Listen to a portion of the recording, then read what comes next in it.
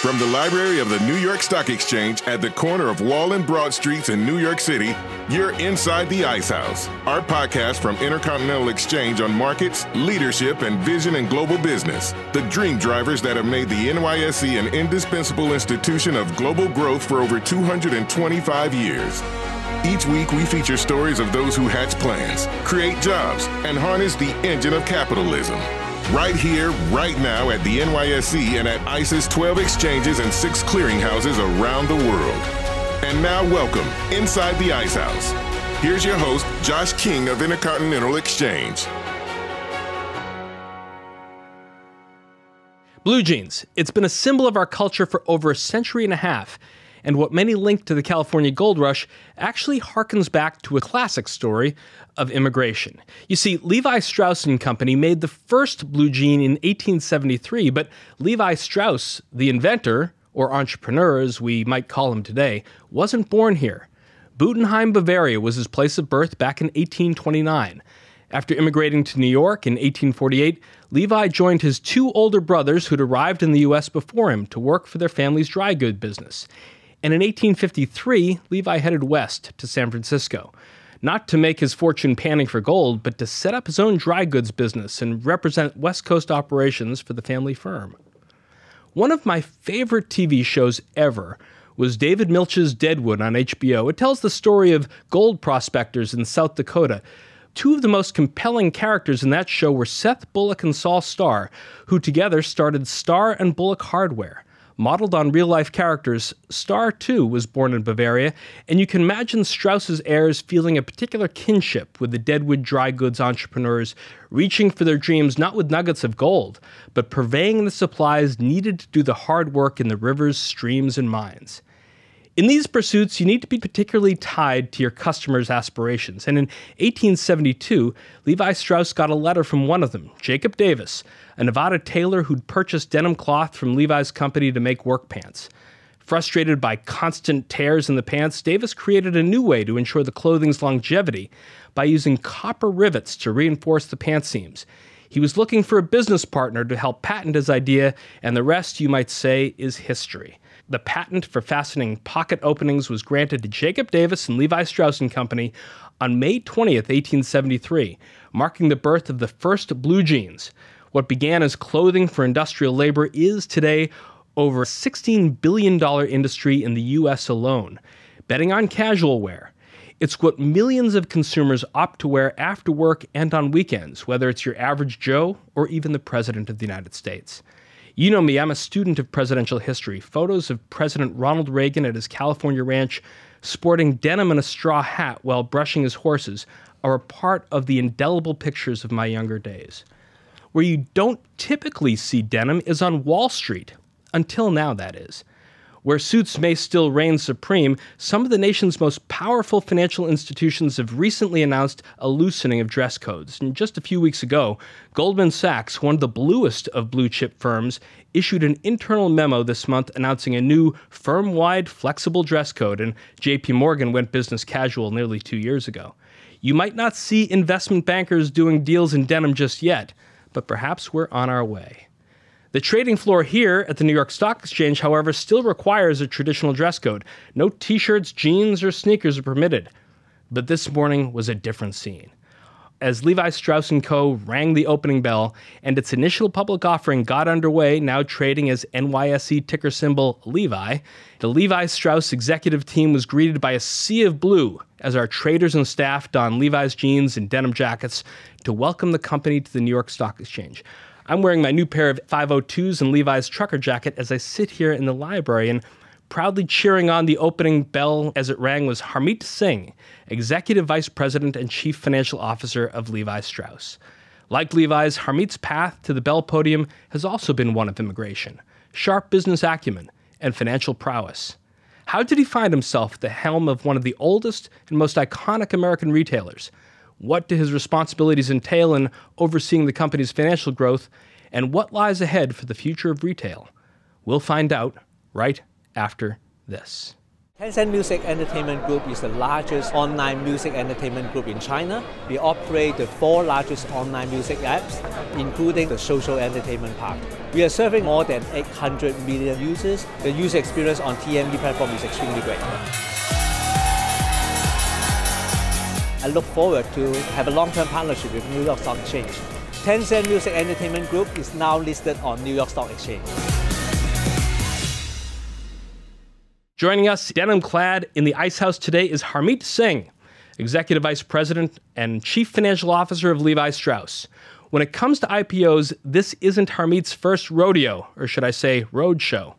Prior to joining Levi in 2013, Harmit served as the CFO of Hyatt Hotels Corporation, NYSE ticker symbol H, where he established a global financial structure, took the company public, and created a strong balance sheet. He's also held executive financial roles for global corporations including Yum Brands, American Express India, and Price Waterhouse India. Harmit, welcome to the Ice House. Thanks for having me, Josh. The first question I have is where do I score one of those shearling collared jackets that you have? Yeah, you know, you can get that at our Times Square uh, store. We opened that a couple of months ago. We, you can get it in any one of our stores in New York. We have one in Soho House, or you can get it online uh, on our Levi's.com. You look particularly dashing at the trading post today with you and Chip Bergh ringing the first bell there. And I watched, you know, from afar, but embraces, hugs, high fives all around. What was going through your head at this moment? It was exciting. And I must thank our employees around the world for allowing us to get to this part. Our shareholders, our, you know, our family shareholders who've been with the company now for over 160 years, and our wonderful board. You know, when we when Chip and I joined the company, um, you know, a little over six seven years ago, it was a very different company. It was not as diversified. The company then was skewed towards U.S., skewed towards wholesale, and skewed towards men's bottoms. And if you summed it up, it said low single digit growth. The company today is a lot more diversified, a lot more global. International today is 54% of our business, and the US is growing. Our direct to consumer business, where you can actually shop Times Square, Soho, our stores, as well as online, is about a third of our business and has been growing in the low double digit. I went in there the other day, bought this get up. great I, service, loved the whole experience. Yeah, and uh, in today you can buy T-shirts, you can buy woven shirts like I'm wearing. You know, women can go and buy their product. Um, you know, we're by a, a, mile. We are market leaders in both men's and women's in denim around the world, and both businesses are growing. So you know, it's it, uh, all in all an epic day that sets us up, you know, and the enterprise for another 165 years. The shares priced last night at $17. They opened at 22.22. Have you and Chip taken a minute just to sit back and reflect on it? You know, uh, not uh, at all, because we don't look at stock price on a uh, you know by minute basis. We don't look at it on a daily basis. We, along with our board and both new shareholders and our older shareholders, uh, you know, want to grow this company for the long term. And uh, what's more important is what does the stock price do over time, as against on a particular moment of time or a particular day. I was down at the trading post for a while this morning watching price discovery, and you've seen this process unfold before, but what did you see, feel, and hear today that was different from your prior experiences? Yeah, it uh, it took longer, and I think it's a good testimony to the demand out there. I would have thought with technology, a lot more technology today than that existed 10 years ago, it would have taken uh, less time, but it was brilliant. Uh, you know, they were able to price it at different levels, see the demand and supply instantaneously, which didn't exist a decade ago. And uh, I think the other big difference was having everybody wearing denim and our product, which didn't exist 10 years ago. So a totally different. They experience. weren't wearing hotel rooms. yeah, no hotel rooms, and you know, so it's a very different experience. Uh, but you know, I'm proud. I, I was saying this to uh, somebody earlier. Just lucky and privileged and proud to be associated with two iconic brands that went public. CNBC's Bob Pisani was in the middle of the action during price discovery. Let's listen to Bob and Patrick Murphy, the head of the NYSE market making and listing services at GTS, on what makes the process of price discovery so unique. Really getting close, genuinely. 21.75 to 22 and a quarter. And folks, when you get a 50 cent spread, that means we're really, really close. Come on, let's get the man with the answers here. Patty, when's it happening? We're getting very close. Uh, we're fine tuning the price. Um, it's a little bit above five dollars on the range. It's uh, we got plenty of volume, um, so it's, it's very close. All systems go. How do you decide when you cut it off? You're talking to the desk, the desk over at Goldman. You're trying to figure out what the right price is. When do you say, okay, guys, enough? The book is closed. How do you make that decision? Basically, when the price pairs off with the buyers and sellers, and we're very comfortable with the depth of book on both sides of the market, um, applying our technology we feel comfortable. The desk at Goldman feels comfortable. All the asset managers and the brokers feel comfortable. We're almost to that point right now. And this is a dynamic process. We always keep explaining to people. It, it, there are people at the last second when you say, "Okay, we're ready," and then somebody comes in with a, with a new with a new bid and it moves. Correct. And that's why this process is great. We take our time. Not only do we apply technology, but the human element of uh, Glenn and Mike we make sure that everybody has a chance for the print, full transparency on price and volume, and uh, you know we're very close. So that was the way it unfolded this morning, Harmit. But this is the really the culmination of I don't know how long your roadshow actually was, but do you have any energy left to like look over Patrick's shoulder and watch the price get balanced? Yeah, no, it's, there was a lot of energy, a lot of excitement. You know, for a lot of people, it was the first time. For me, obviously, it was the second time, but in a very different environment, and it's always exciting to see you know the interest in the company and that's what i was saying how many people want to buy how many people want to sell and seeing the demand supply interplay and uh, you know drive the stock price. Uh, so it was, it was great, and Bob was patient because he kept coming back after uh, you know after every half an hour just to say, okay, is it ready or not? And it's wonderful to see the uh, demand drive, you know, final supply. I watched your comments this morning in the boardroom to your team. You said that through the whole process, you underestimated a lot. You're in the business of making rock solid estimations. What did you underestimate? I underestimated, and you know, I should have prefaced that by saying I'm pretty good at forecasting. And if I'm wrong, I'd rather, I'd rather be wrong in terms of undercommitting, you know, versus overcommitting. And that's what I was wrong here. I think a couple of things. Uh, one was I underestimated the strength and the secret sauce of Levi's in terms of his culture. We're a very value based organization. We want to grow the uh, business for the long term. Growing profits through principles is important, which in essence means that you know making something is important, but how you do it, you know, the fact that it has to be sustainable, the fact that it is the right thing, is is critical. I underestimated the strength of our people.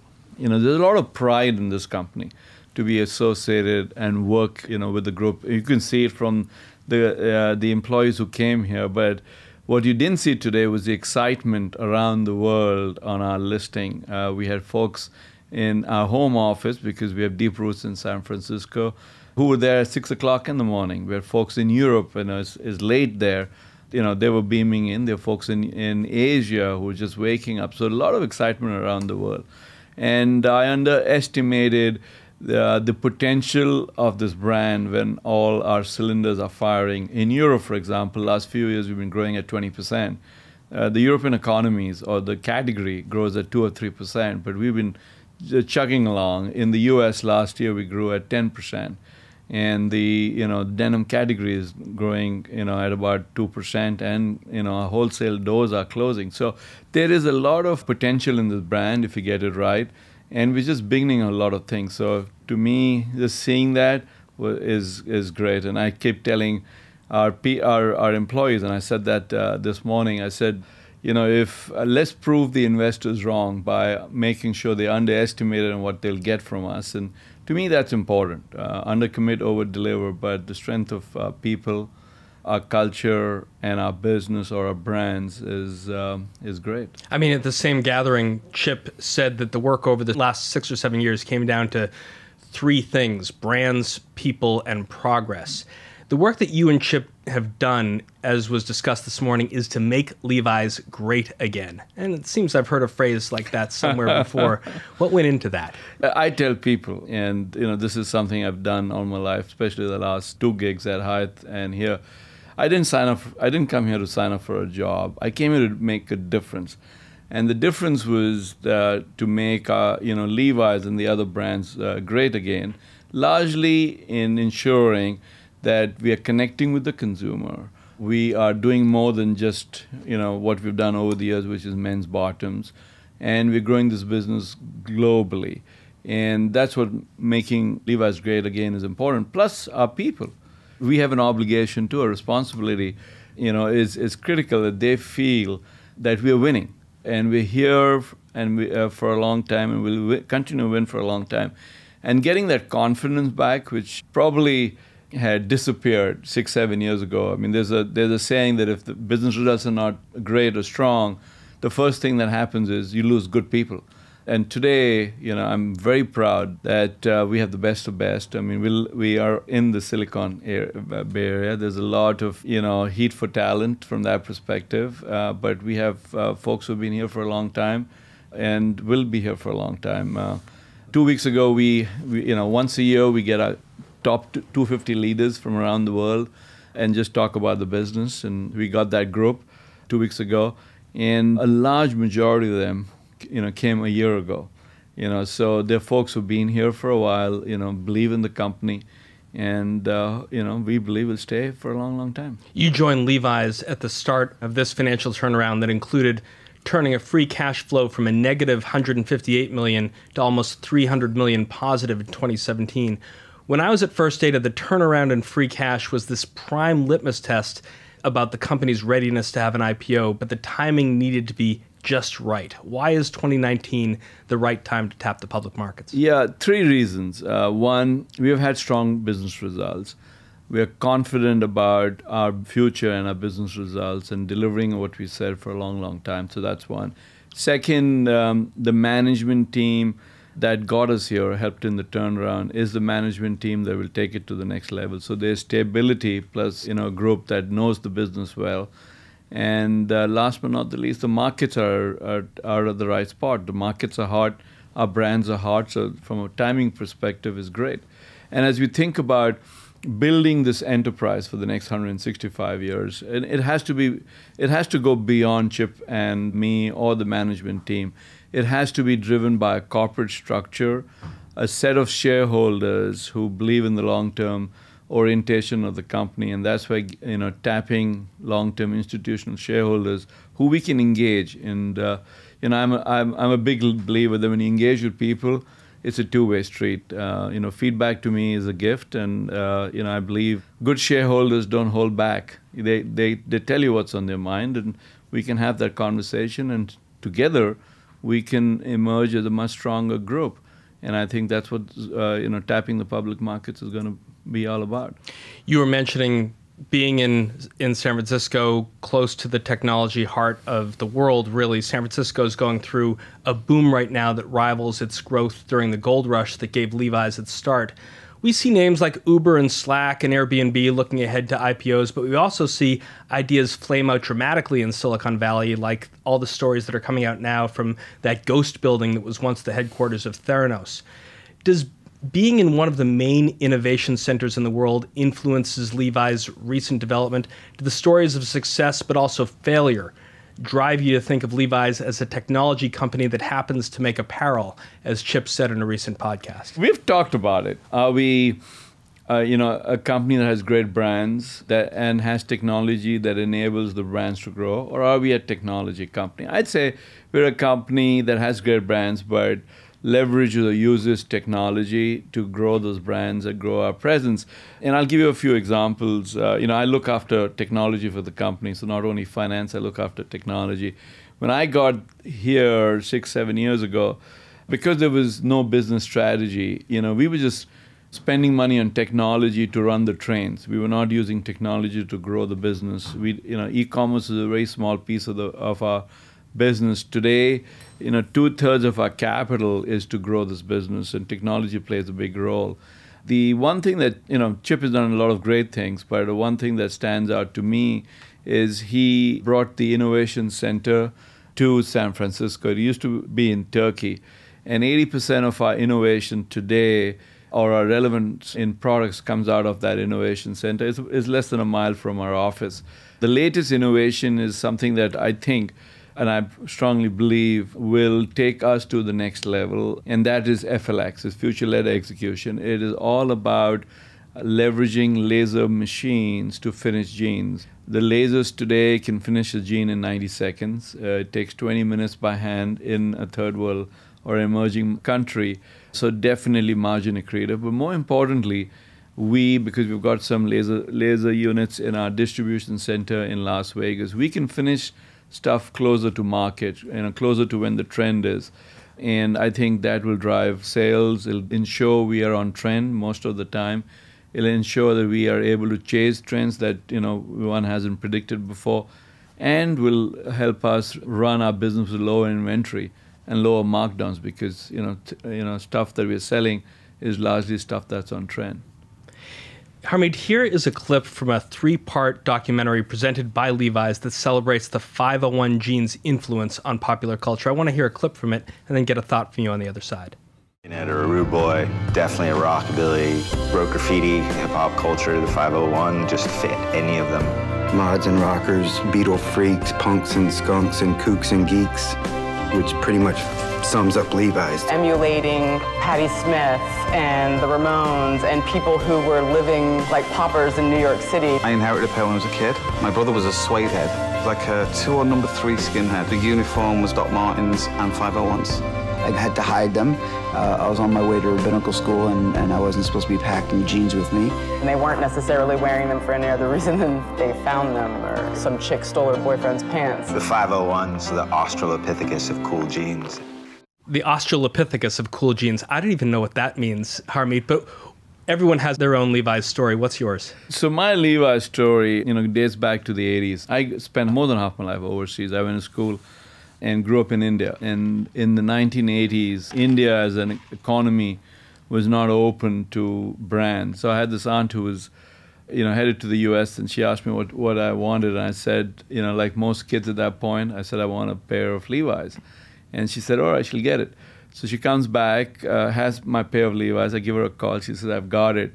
And I waited for a week. It didn't show up. So I called her again and said, What happened? Well, she said, Your cousin stole it because, you know, it was not something that he would part with at the moment he knew that I'd get it. It took me three months later to get a pair of Le- Levi's, but that is what the product was.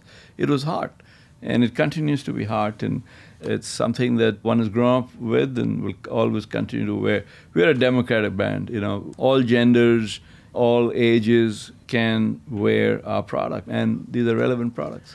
From the 1980s and your own personal Levi's story to 2019 and today, this week Instagram launched a new checkout feature on its mobile app, which allows users to store their own payment information within Instagram in order to make purchasing an item as easy as liking a photo. And in return, Instagram is going to charge retailers a selling fee, and 20 retailers have already signed on, including Nike, Adidas, Warby Parker, and Zara. Levi's currently has 5.7 million followers on Instagram, and hashtag Levi's has been mentioned in 4.7 million posts, a number which I'm sure is going to increase after today.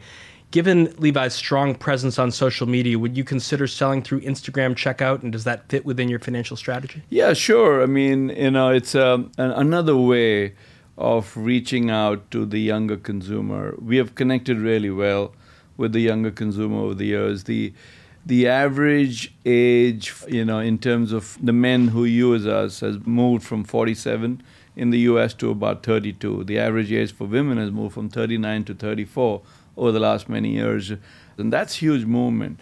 So I think Instagram is a good way to connect. And you know, I've got, and I'll just go back. You know, in terms of my immediate family, I have a wife and daughter. You know, when I joined the company in 13, I said to my wife and daughter, "It's time to connect back with Levi's." It took my wife two years to start supporting Levi's, and that's when we reset the women's business in 2015. My daughter connected back with the brand not because the dad kept telling her, but because of all the cool products, you know, in 2017. And today they converts, and I think, oh, and that's the that's the change that's happened as we resurrected the brand. So, to answer your question, yeah, I mean, it's something I'm sure Mark uh, Rosen, who's our director consumer head, will definitely take a look at. I recently visited the Levi's store in Soho where I noticed a few things. I was immediately drawn to the Levi's tailor station at the center of the store where customers can have custom patchwork or embroidery sewn into a denim jacket, studs added to your jeans, or simply altered for the best fit. What's the take up on this kind of customized setting? It's great. Everybody loves it, but especially the millennials. They love it. Our tailor, sh- we had tailor shops in the past, but it was only until Europe, which has been on a complete tear, ensured that they were able to deliver choice because consumers want choice. The millennials love that choice. They started expanding tailor shops in all our mainline doors, and it really took off. It allows people to customize and personalize. We've introduced something called a print bar where we get blank tees and then you can print, you know, within a guideline of what you can print on the t-shirts, and that's taken off. So as we are remodeling our stores or building new stores, we're adding tailor shops. And Soho, for example, was remodeled about 18 months ago. Soho was losing money. It was in a prime area, great traffic, Mhm. but uh, not growing at the pace that we thought it should be growing. So that's what we did. We added the tailor shop, both print bar and the customization. We changed the fitting room experience. So we got a lot more fitting rooms. We, uh, we freshened the lighting, added more lighting, and uh, brought in a head-to-toe look because now we've got products on, in the tops category and, in the bottoms category and, and across both genders. And the business has taken off. Soho now makes money, which I never thought it would, and that's great. Another interesting element about that store this is a nod to your sustainability efforts. There's a water fountain that's affixed to the wall where customers can refill their reusable water bottles. Store associates walk around with iPads, allowing them to check inventory and check out a customer at the same spot. How is this reimagining and reinventing the in-store experiences help drive growth? A place to fill up your bottle. Thank you for bringing that up because you know we're big believers in doing the right thing, both for society as well as ensuring scarce resources are you know we protect those resources, and and that's why I think you you know you had the filling the bottles. Uh, optionality incorporated as we remodel the store. We're also looking at the store of the future. You know, so where does this go from here? And it's all about and sustainability is a big piece. You know, reducing our carbon footprint, reducing the energy that you use in these stores, etc. is all areas of focus. So over time, you know, that's going to be important. You know, we've always, I think it was about a year ago, we voiced our views on, on climate and what are we going to do uh, relative to that. And we've come up with real targets that we believe we can meet over the next uh, four or five years. And as we finish up the, this part of the program, really focusing in on your role, achieving operational excellence, perhaps the most important part of the strategy was one that zeroed in on your world, Harmit. Chip noted that Levi's needed to cut costs, drive cash flow, become more data driven, and financially disciplined.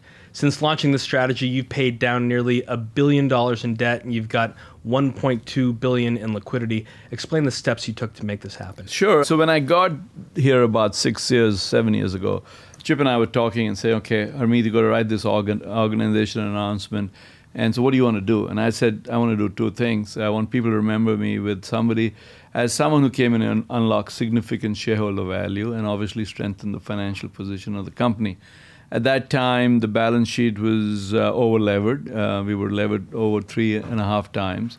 Uh, we were not investing for growth, and that was a problem. Balance sheet, as I tell people, was a constraint. You know, you had your hands tied around your back, and I said that's not going to be the company that I a, want to be associated with, but more importantly, the legacy I want to leave. So what we did then, uh, we spent 13 and 14 taking a hard look at our cost base. We took out about 10% of management headcount. We shut two factories we took services that we don't need to be best in class and outsourced that uh, because that was not a core competency. And we unlocked probably $200 million a year. We, so we had two choices. We could bank it, and you know our margins, operating margins would be in the mid-teens. Everybody would say, "Oh my God, that's pretty good." Or we could invest a large part of it to grow and restructure this company. We took the second choice because we are here for the long term. And that has allowed us now to develop what I call a cash generation machine in terms of a business, where it becomes a bit of a flywheel. Okay, you generate a lot of cash, you can invest that cash or drop it to your bottom line, and you can then grow this business and more importantly, differentiate ourselves with the rest of the world around here. And that's what we've been doing. After the break, we discuss Harmit Singh's path to San Francisco and why sustainability is critical to a company's financial growth. That's right after this. Twilio is a cloud communications platform that allows software developers to embed any kind of communications into every software application they build. We see ourselves at day one of a future of communications, which is powered by software. And so we are going to continue to build out globally more ways of communicating. The New York Stock Exchange is a critical part of our global economy. It's amazing for a company to get to be a part of that long tradition. Twilio is listed on the New York Stock Exchange. Welcome back. Before the break, Harmit Singh, Executive Vice President and Chief Financial Officer of Levi Strauss & Company, broke down his company's financial strategy and outlook following its initial public offering, which happened on the floor of the New York Stock Exchange this very day. Harmit, like Levi Strauss, you were also an immigrant to the United States. You studied business in Delhi at Sri Ram College of Commerce, and after graduating, began working for Price Waterhouse India in auditing and accounting. What spurred you to get into business? Was this a family orientation? No, actually not. So when I um, did my char- chartered accountancy in India uh, with Pricewaterhouse, I had a my objective was to set up my own consulting firm, my own audit firm. But then I met my current wife, fell in love. You know, my dad said to me one day, he saw this wonderful advertisement from American Express. It said they're looking for financial analysts they were paying at that point the highest paid starting salary for a financial analyst in the country, which was in today's dollar terms about four hundred dollars a year. And he said, "Why don't you apply? You're starting a life, you know, doing something you know will take a little time." I said, "Okay, let me give it a shot." So I drummed up a resume. Uh, went to submit it to American Express uh, on my way to Pricewaterhouse, and uh, so I walked in, dropped my res- uh, resume with the receptionist. She turned around and said, Do you have 30 minutes? I said, I can. She said, Could you meet the HR officer? So I met the HR officer. Well, long story short, uh, about 13 interviews later, they said, You got to meet the CEO. And I said, It's about 5 o'clock. My dad was buying me my first uh, car. And the dealership closed at 7 o'clock. So I said to them, Listen, I didn't come here for a job. I have to go and pick up my car, and uh, I can come and meet the CEO at seven seven thirty. And they said, "Let's do it." So I went, picked up my car, came back, met the CEO at eight thirty. They gave me an offer letter, and said, "You got, we want you here." And that started my career with great brands, American Express at that point. And then when I was with American Express, I was there for about eight years. Pepsi decided it's time to enter India, and they said, "Let's set up the Yum business, KFC yeah. and Pizza Hut." So an old bo- boss of mine, you know, was the managing director. He said, Harmit, I want you as a CFO. And by the way, Harmit, we don't have a company yet. We got to form a company. So I said, all right. My wife was expecting our first child. She was not really comfortable me switching, but you know, I took the risk. I switched. Uh, we set up the business. It took off, and then uh, Pepsi brought me to uh, Singapore as the Asia CFO. We think about these Yum brands, including KFC, Pizza Hut, Taco Bell, and when I travel abroad, you know, you see as many of those brands and storefronts in Mumbai, Tokyo, and Beijing as you do in LA, Boston, and Dallas.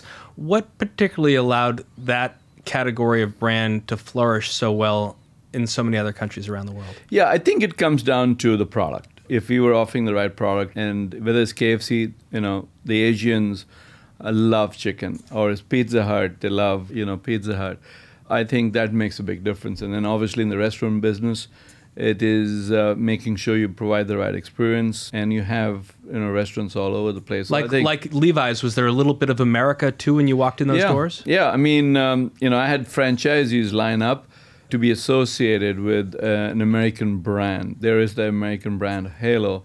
And I've been lucky in my career to be associated with large global, you know, American initiated brands. And I tell people, because I speak to students all the time, and say, okay, Harmit, how do you get here? First, I said, I didn't grow up thinking I'll be CFO of two large companies and taking two companies public. It just happened. You know, what I tell people is, you know, one of the three things you should think about is be associated with global brands, global consumer brands, because even though they're large companies, you learn a lot and the cultures are phenomenal. So if you're good, you tend to progress and progress fast. I mean, Chip was saying on CNBC today that I think a question was put to him is there any sort of brand drag now on Levi's because of America's place in the world today? But the answer that Chip gave really was that Levi's speaks today as it always has for everything that's great about America. Yeah, I say this really with confidence. There are very few people I met who don't have a Levi's story. Uh, you know, when we were in the roadshow, we met a lot of different investors. I remember this, uh, the doorman in one of the hotels we were staying in, and he says, I've got 25 pair of Levi's. Okay, I've told my wife, when I die, okay, I want to be buried with a pair of Levi's. And there are stories like that all over the world. And I think that's largely because it's a great brand, products are great. We, we're a very democratic brand. We play across all categories of uh, consumers, and that's huge. So you went from the restaurant and franchise industry and later into the hospitality industry, chief financial officer of Hyatt Hotel Group. Did your experience in these industries translate into retail? I mean, from the hotel room business into the apparel business? Yeah, no. The uh, and I tell I tell folks that other than this job, I've never done a job I've done before. Uh, you know, I was CFO at Hyatt, CFO here, but difference I was in different industries.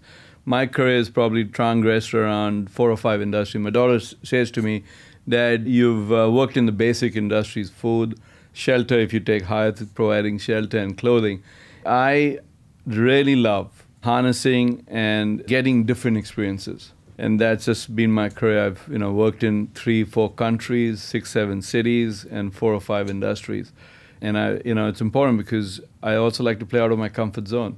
I was doing very well at uh, Yum and had no reason to leave. I had a headhunter called and said, "We'd like you to be CFO at, at Hyatt." And I said to the headhunter, "I said you got the wrong person number one, I've never been in hospitality. Number two, I've never taken a company public. And they said, no, we think you're the right guy for mm. these reasons. And six months later, I was working at Hyatt. The same thing happened when Chip called me uh, and said, we'd like you to join um, Levi's. I said, that's great, but apparel is not up my sleeve. And he said, I'm not an apparel guy too. Let's do it together. And I said, okay, that makes sense. Let's try it. And that's been my whole journey. Uh, you know, play out of your comfort zone, learn you know, associate yourself with great brands, and the rest will happen automatically. We were talking earlier about the efforts from Levi's to be a more sustainable company. You launched the waterless process in 2011, reducing the amount of water used in the finishing process of producing denim. Last summer, Levi's announced yet another sustainability plan focused on cutting greenhouse gas emissions by 40% in your supply chain by 2025. Will implementing these energy efficiency programs have a direct impact on your financial growth? Yeah, it will. You know, a couple of years ago, someone said to me, This is Levi's. One of the values is pro- uh, growing profit through principles. And I said, That's important. But as a CFO, my role is to be able to A, set the right tone on the top because I'm joining a company that has profitable principles. I've got to be convinced and, more importantly, drive that across the organization. And second is, demonstrate to people that really creates value. The Waterless program creates value because you're not uh, reaching out to a consumer set, largely the millennials who really believe in sustainability. You know, using less water is you know less expensive. The margins are more accretive. I think the margins were up a couple of basis points. In terms of, you know, we have a workers' well-being program. Now we cover about 200,000 workers mm. across 10 countries. This is largely focused on women in, in, in, emerging countries, driving financial literacy as well as health. And what we have proved is that for every dollar that's invested, the return is about four times that because it drives higher productivity, largely because of lower absenteeism, etc., and more connection to the uh, to our vendors. So clear opportunity. We just uh, announced, I think not just about a year ago, we announced FLX. Mm-hmm. It started as a sustainability program, but it's about leveraging through our own software laser machines to finish our jeans as against manual labor, which takes 20 minutes. Laser machines take 90 seconds. And we're pioneering that across the industry. You know, we've filed 29 patents, uh, got about nine approved.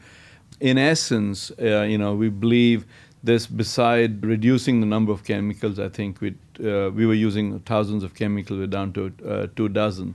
It is also will allow us to compete better in the marketplace because we're able to chase trends, and importantly, it's accretive financially because it's higher gross margin, will lead to lower inventory and lower markdown. So you know, I think the combination, going back to my earlier point, the magic of the and, you know, you all have to do something that is important to you, but also, you know, uh, is rewarding to our shareholders longer term. The magic of the and, the power of the brand. The company even made ESG part of its celebration of winning the naming rights to the 49ers' new stadium. Let's take a listen when the company claimed naming rights to the San Francisco 49ers' new billion dollar home in Santa Clara, California last year, the Field of Dreams nickname was born. Levi's trademarked the term and made the play on words a reality this month with a Bay Area denim drive that brought in over 18,850 pairs. The donated jeans, whose sale at Goodwill will benefit the nonprofit's local job training programs, ended up at Levi's Stadium to demonstrate the impact of recycling used clothing instead of sending it to the land landfill. Now, Harmit, I've been part of a lot of public companies. I've known a bunch of CFOs, and I've been pitched a lot of naming rights opportunities, and that usually gets a veto immediately when it goes to the CFO's office. Levi's Stadium, how's it done for the brand and, and the company? Yeah, no, it's done great. You know, I was a week in the company, and I joined a company that's over levered. You know, cost structure was high. When Chip walks into my door, he says, "I have a great idea." I said, "What's your idea?" He said, "I'm going to spend 200 million dollars uh, over 20 years, and is to uh, you know brand or get the naming rights for the new stadium."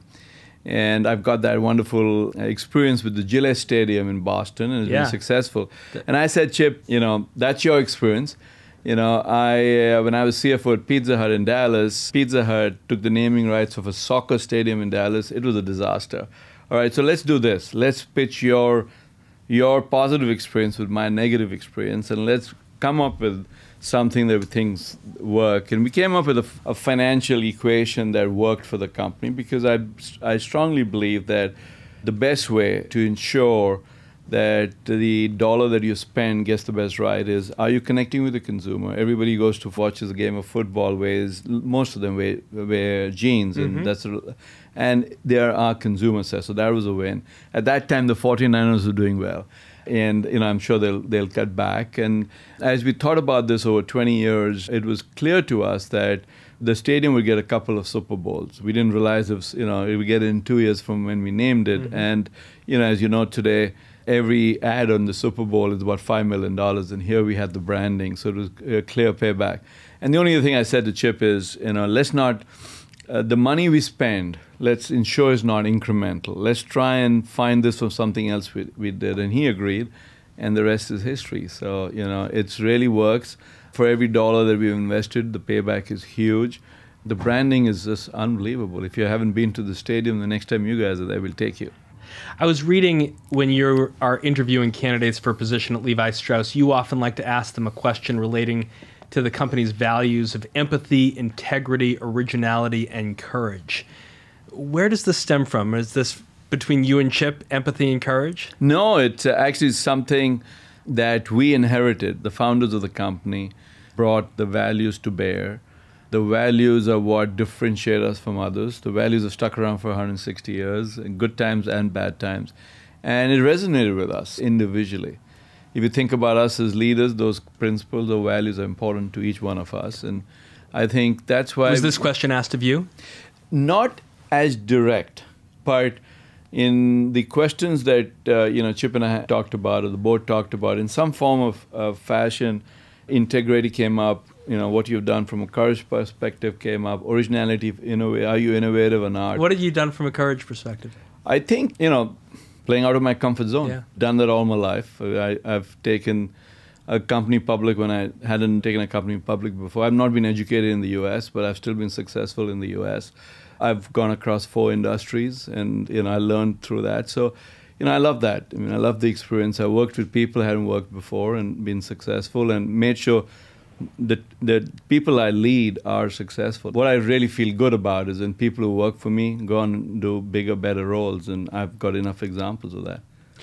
Well, this is your first day of trading, my friend, and before too long, I'm sure I'll be dialing up and listening to your first quarterly earnings call as a public company. The journey begins here. Thank you so much for taking a little detour into the ice house and spending some time with us. Thanks, Josh. Thanks for having me here. That's our conversation for this week. Our guest was Harmit Singh Executive Vice President and Chief Financial Officer of Levi Strauss and Company. If you like what you heard, please rate us on iTunes so other folks know where to find us. And if you've got a comment or a question you'd like one of our experts to tackle on a future show, email us at icehouse at theice.com or tweet at us at Icehouse Podcast. Our show is produced by Pete Ash and Teresa DeLuca with production assistance from Ken Abel.